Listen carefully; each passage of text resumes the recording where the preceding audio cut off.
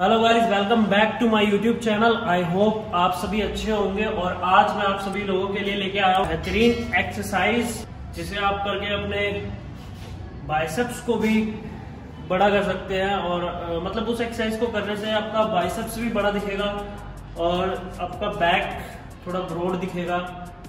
तो आज हम ट्राइसेप्स की एक्सरसाइज करेंगे और आज मैं आपको ट्राइसेप्स मसल के चार इफ़ेक्टिव एक्सरसाइज के बारे में बताऊँगा और उसकी मूवमेंट क्या होती है, किस तरीके से हमें एक्सरसाइज को परफॉर्म करना है, वो सारा तरीका आपको बताऊँगा मैं। वीडियो को पूरा देखें। आप वर्कआउट स्टार्ट करेंगे बट वर्कआउट स्टार्ट करने से पहले हम अपने ट्राइसेप्स मसल को एक्टिव करेंगे और एक्टिव करने के लिए हम डायमंड पुशअप्स मारेंगे, जो कि आपको पहले पता था आप डायमंड पुशअप फ्लोर पे भी मार सकते हो और आप बेंच पे भी डायमंड पुशअप्स मार सकते हो। तो मैं आज आपको बेंच पे डायमंड पुशअप्स कैसे करते हैं, वो बताऊँगा।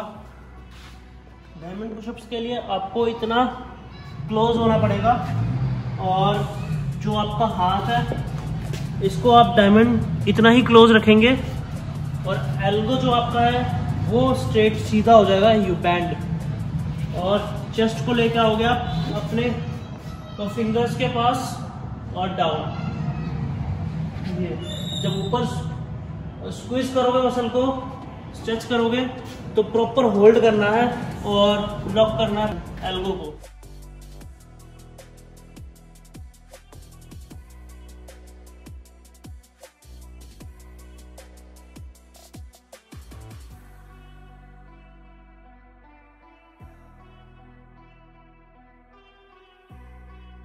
तो ये था हमारा बेंच पे क्लोज ग्रिप पुशअप जो आपके ट्राइसेप्स के लॉन्ग हेड मसल को हिट करेगा और आपका ट्राइसेप्स एक्टिव हो जाएगा वर्कआउट के लिए और इसके बाद हम वर्कआउट स्टार्ट करेंगे। सो so, हमारी फ़र्स्ट एक्सरसाइज है स्कल क्रशर जिसे कि नाइंग एक्सटेंशन भी कहा जाता है। तो मैं बताता हूँ आपको वो कैसे करना है। तो ये स्कल क्रशर आप फ्लैट बेंच पे भी कर सकते हो और इसे आप डिक्लाइन बेंच पे भी परफॉर्म कर सकते हो। तो हम अभी बेसिक बिगिनर्स के लिए बना रहे हैं। तो फ्लैट बेंच पे करेंगे और मैं बताता हूँ इसको कैसे करना है।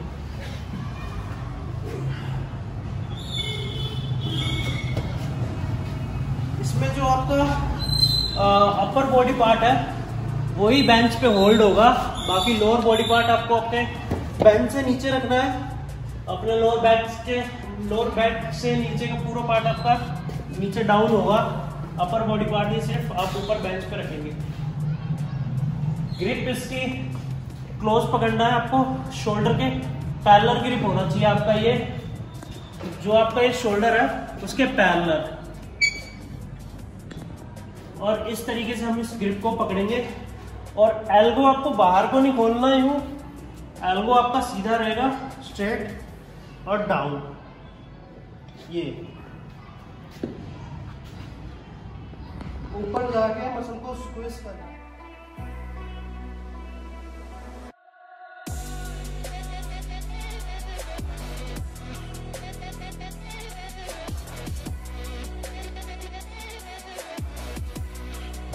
तो ये था हमारा स्कल क्रशर इसकी जो मूवमेंट होगी आपकी, वो बिल्कुल एल्बो को स्ट्रेट रखना है 90 डिग्री पे। जो आपकी मूवमेंट होगी, जो मूव होगा, वो आपके रिस्ट से फोरआर्म से होगा सिर्फ़। ये वर्कआउट आपके लॉन्ग हेड को हिट करेगा। आपको अपनी ट्राइसेप्स को स्ट्रेच करना पूरा। और इस तरीके से आप अपने स्क्रल क्रशर की एक्सरसाइज को कर सकते हैं। और इस एक्सरसाइज के आपको चार सेट करने हैं। रेपिटेशन पंद्रह, बारह, दस, आठ।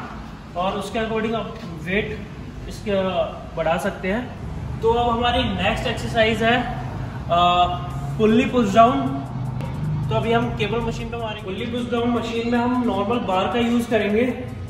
और इसमें जो ग्रिप पकड़नी है आपको, ये इसके एंड से पकड़ना है। और जो आपका हाथ होगा एल्गो होगा, वो बिल्कुल स्ट्रेट होगा।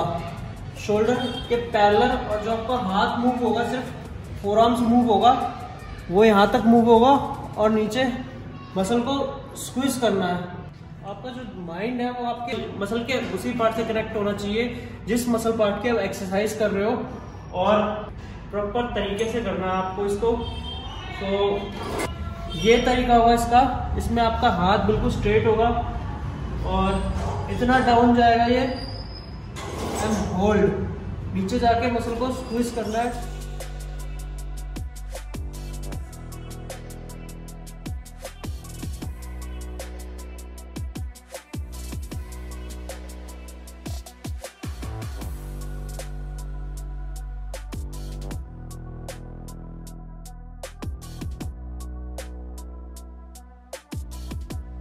इस एक्सरसाइज में आपको, आपके हाथों को प्रॉपर स्क्विज करना है और इसके भी आपको चार सेट लगाने हैं।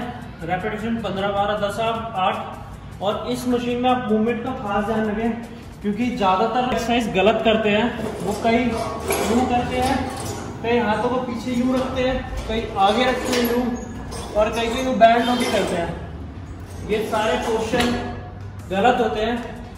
तो मूवमेंट का खास ध्यान रखें, जो आपकी मूवमेंट होगी, वो सिर्फ़ इस तरीके से होगी।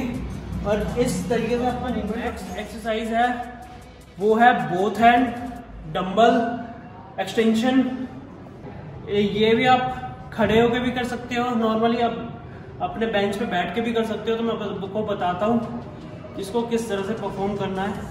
तो बोथ हैंड डंबल में आपका जो एल्बो होगा, वो बिल्कुल स्ट्रेट होगा, सीधा। और हाथों को पीछे मूव करना है। इतना लेके जाएँगे पीछे।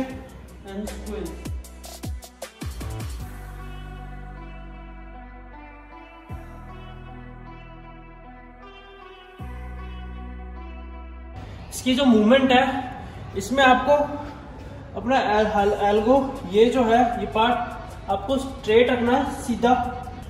और हाथ बैंड होंगे। जो आपका हाथ बैंड होगा वो आपके एल्बो से थोड़ा सा डाउन होगा हल्का सा और फिर ऊपर स्क्विज करना है इसको एंड डाउन जब आप डाउन करेंगे तो आपका मसल पार्ट बिल्कुल स्ट्रेच होगा, और ऊपर स्क्विज होगा। इस तरीके से आपके बोथ हैंड डंबल एक्सटेंशन की एक्सरसाइज होगी, और इसके भी आपको चार सेट लगाने हैं। रेपिटेशन पंद्रह, बारह, दस, आठ। अब हमारी नेक्स्ट और लास्ट एक्सरसाइज है, वो है पैलर डिप्स सो मैं आपको बताता हूँ पैलर डिप्स कैसे करना है। इस पैलर डिप्स में आपका जो हाथ होगा, वो शोल्डर के पैलर रहेगा। वाइड नहीं खोलना इसको। आपको शोल्डर के पैलर रखना है दोनों हाथों को। और बेंच पे पैर रखेंगे। बेंच पे आपको पैर को नीच को लॉक नहीं करना। हल्का सा बैंड रखेंगे। और कमर आपकी सीधी और डाउन जाएँगे नीचे। ये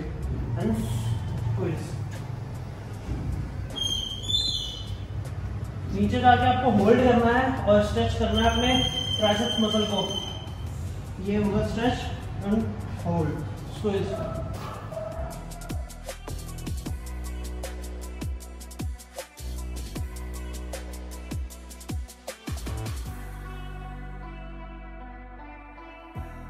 इसमें आपका हाथ शोल्डर के पैरल रखेंगे और जो आपकी बैक होगी, वो बिल्कुल स्ट्रेट रहेगी। बैक को आपको यूँ कई बंदे होते हैं लॉक कर लेते पैर, और बैग आपकी यूँ आगे जा रही है, और यूँ मार रहे हो आप। ये गलत होता है। इसमें आपको नीज को हल्का बैंड करना है। बैक आपकी बिल्कुल सीधी रहेगी, और बिल्कुल सीधा डाउन होना है नीचे। ये। और इसमें हाथों को आपको अपने क्लोज रखना है। तो ये तरीका है आपका पहला डिप्स का। आप इस तरीके से पहला डिप्स कर सकते हैं। इसके भी आपको चार सेट करने हैं बट रेपिटेशन आपके सेम होंगे। मिनिमम टेन रेप्स निकालने आपको। अगर आपको लगे कि इसमें आपका बॉडी वेट आपको काफ़ी हल्का लग रहा है तो आप अपनी थाइस पे वेट भी रख सकते हैं, जिससे आपका प्रेशर और ज़्यादा ट्राइसेप्स मसल पे बढ़े। तो हमारी चार एक्सरसाइज ट्राइसेप्स मसल की यही ख़त्म होती है, और ये बेसिक एक्सरसाइज थी ट्राइसेप्स की, जो कि नॉर्मली बिगनर्स आराम से अपने जिम पे जाके इन चारों एक्सरसाइज को परफॉर्म करके ट्राइसेप्स मसल की काफ़ी अच्छी ग्रोथ कर सकते हैं। और इससे आपका बाइसेप्स भी बड़ा दिखेगा। जितने ज़्यादा ट्राइसेप्स हैवी होंगे, आपके उतना ही ज़्यादा बड़ा आपका बाइसेप्स दिखेगा। तो आज की वीडियो अब हम यही खत्म करते हैं। आई होप वीडियो आपको अच्छी लगी हो। अगर वीडियो आपको अच्छी लगी हो तो लाइक करें शेयर करें। और कमेंट करके बताएँ आपको वीडियो कैसी लगी। और कमेंट में बताएँ मुझे कि नेक्स्ट किस बॉडी पार्ट के एक्सरसाइज पे आपको वीडियो चाहिए। मैं उस बॉडी पार्ट की एक्सरसाइज पर आपको वीडियो बनाऊँगा। तो चैनल को सब्सक्राइब करें लाइक करें शेयर करें और बने रहें।